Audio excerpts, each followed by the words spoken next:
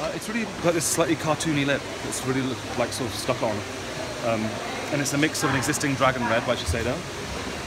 And with the other product. And the other color, color sadly, is a little. It has no name. It's a prototype called Shade EE. What's my? Mm, not bad. We just we, we're looking for one element that would kind of unify the girls. There's a sort of a music-based idea to the collection. Starts off with a sort of post-punk, then goes into like synthesizer CD, and then goes into kind of a country rock and roll sort of thing at the end. But throughout, the consistency is the shapes are sharp. There's strong edges. There's a lot of leg. So the silhouette proportions kind of continual. So we've thought one element that would go through, exist in all these worlds is a red lip. It's kind of universal. Goes to you know, red lip goes anywhere. Stunning.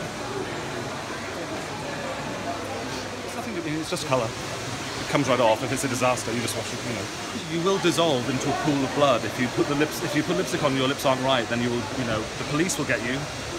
If they don't get you, you will dissolve into a pile of blood.